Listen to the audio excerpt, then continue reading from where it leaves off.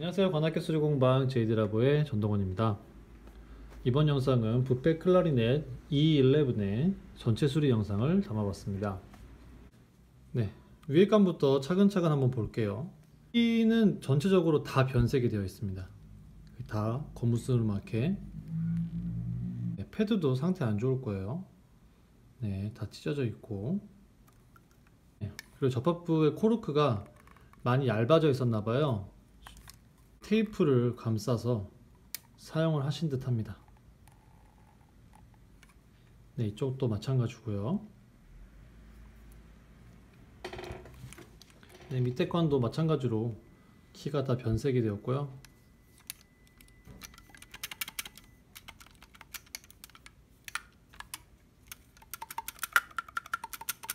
이런 키 소음들도 많이 나죠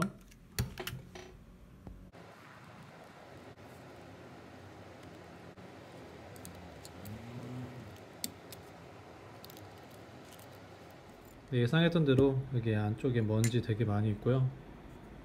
토널 같은 경우에도 오랫동안 어, 클리닝을 받지 않은 흔적이 보이네요. 그래도 분명히 먼지가 많이 끼어 있을 거예요.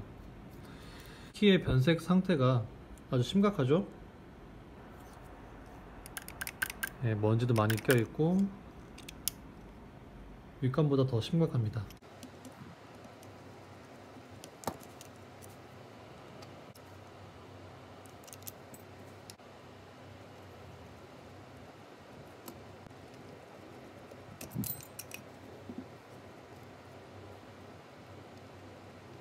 이 악기는 키가 실버 도금으로 되어 있습니다. 그래서 시간이 지나면서 이렇게 변색이 되죠. 이건 어쩔 수 없어요. 이번 작업으로 어, 깨끗하게 다시 색을 돌려보도록 하겠습니다. 네 그러면 이제 연결부에 있는 이 코르크를 다 제거하고요. 그리고 키 코르크 제거하고 키패드 제거하고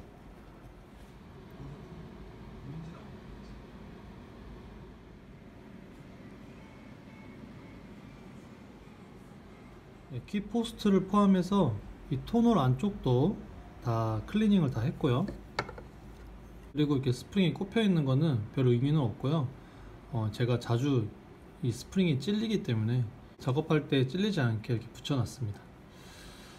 키 같은 경우도 세척과 광택내기 작업을 다 끝냈습니다. 어, 키 코르크를 포함해서 어, 연결부에 있는 코르크 교체를 하도록 하겠습니다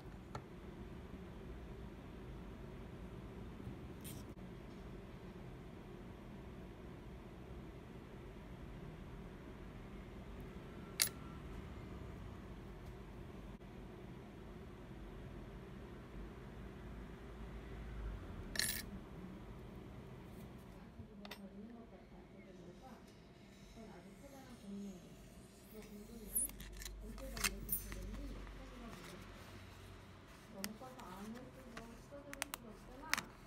기존에 있던 코르크를 다 제거하고 어, 이렇게 새롭게 연결부의 코르크도 교체했습니다.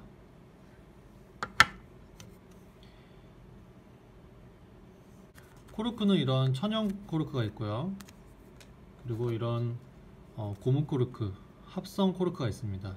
어떤 키에 어떤 코르크를 붙이는 게 좋다라는 것은 repair 하시는 분들마다 성향이 틀리기 때문에 뭐가 정답이라고 말씀드릴 수는 없지만 저 같은 경우는 구분을 딱 지어서 그 키의 역할에 맞춰서 나눠서 사용하고 있습니다. 이제 가죽 패드를 이용해서 패드 작업을 하도록 하겠습니다.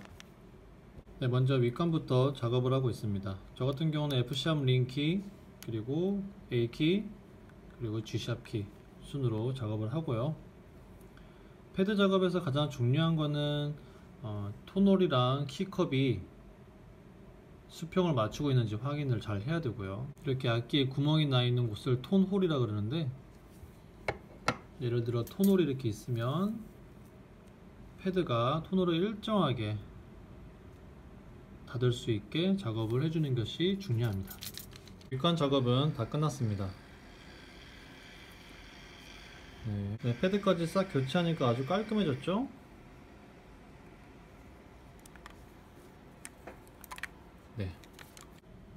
이 부분을 키 포스트라고 합니다. 이 포스트 밑에 이렇게 나사가 이렇게 박혀 있어요.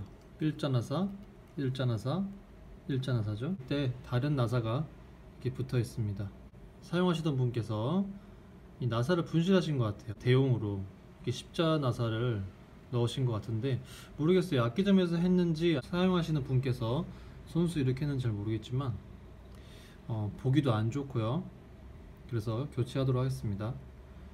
심지어 나사 산이 다 이렇게 뭉개져 있어요.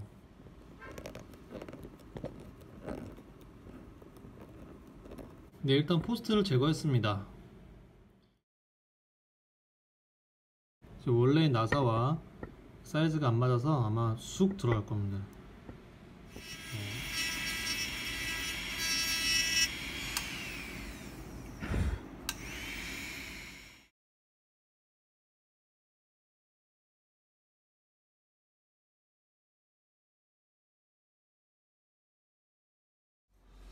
네, 아랫관도 작업이 다 끝났습니다. 처음에 수리하기 전에 들렸던 그런 키 소음들 하나도 안 들리죠? 전체적인 코르크를 다 교체하고 그리고 이런 키들 간의 그런 유격들 최소화시키면서 패드 작업을 완벽하게 하면은 키 소음이 날 수가 없습니다. 그래서 아주 좋은 소리가 나고 있고요. 아랫관 같은 경우는 이 두 키의 밸런스 작업도 아주 중요합니다. 두 키가 동시에 움직이기 때문에 밸런스 작업 이제 윗관과 아랫관 조립을 한 다음에 최종적으로 밸런스 확인을 하도록 하겠습니다. 악기를 다루신 분들은 대부분 다 아시겠지만 윗관과 아랫관이 이렇게 서로 연동되는 키가 있어요. 일정하게 일직선을 이룰 수 있도록 결합해 주시는 게 좋고요. 이 연동되는 두 키의 밸런스 작업이 매우 중요하고요. 그리고 밑에 관의 키 오프닝도 확인을 해줍니다 네 모든 작업이 다 끝났습니다. 네, 처음에 입고됐을 때랑 비교하면 180도 달라진 모습을 볼 수 있고요. 어, 악기 외관뿐만 아니라 전체적인 컨디션도 최대한 끌어올렸기 때문에 이전보다 더 좋은 소리 연주했을 때 그 느낌도 훨씬 더 좋아졌어요. 네 악기 수리는 항상 정성을 다해서 하고 있고요. 앞으로 더 좋은 영상으로 유익한 영상으로 찾아뵙도록 하겠습니다. 시청해 주셔서 감사합니다